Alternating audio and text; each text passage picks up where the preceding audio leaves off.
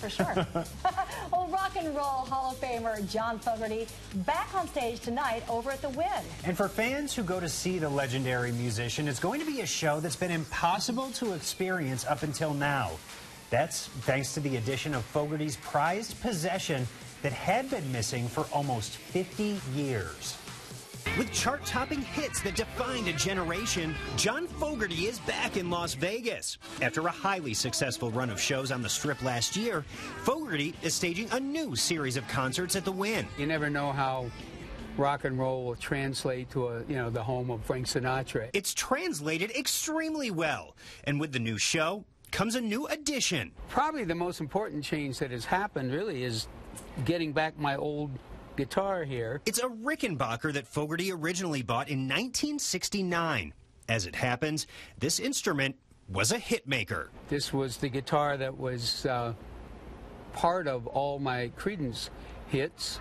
Uh, I, I wrote those songs on this guitar and recorded with this guitar. Unhappy with its factory condition, Fogerty made some customizations of his own. I put a uh, basically a Gibson humbucker pickup in the bridge position uh, and I put a Bigsby for the what we call the whammy bar and I changed where it normally says Rickenbacker here I painted Acme.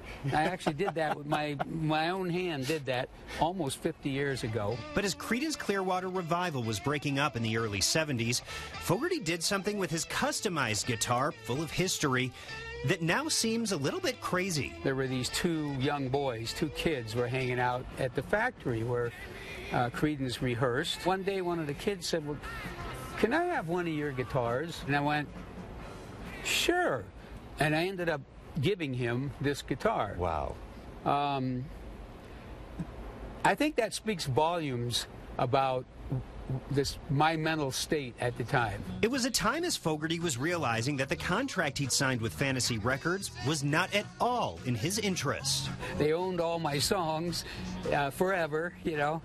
Um, and so I think I was just really, and, and life just seemed to be what, unraveling. I, I cannot imagine, as I sit here now, a person, you know, a musician who's had some fame with his music, his craft, giving away his most important, his most famous guitar, and the one that he's made so personal. I mean, it's, you know?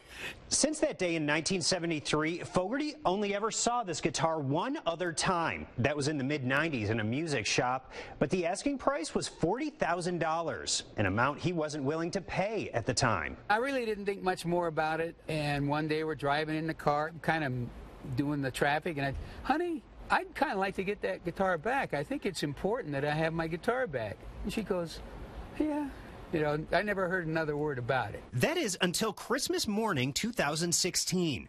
This is the present that waited for Fogerty. They said, honey, am I about to be overwhelmed here? I open it up, and there it is. Wow. And I, I, oh, honey. It's just like, you know, I started to tear up, and finally I kind of could, I gave her a big kiss. I couldn't say much.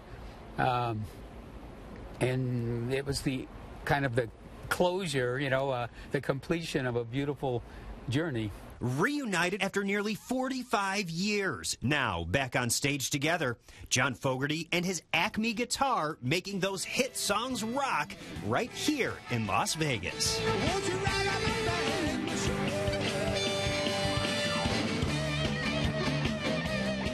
Such a cool